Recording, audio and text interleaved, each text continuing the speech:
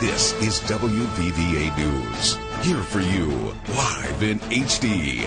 WVVA News at 6 starts now.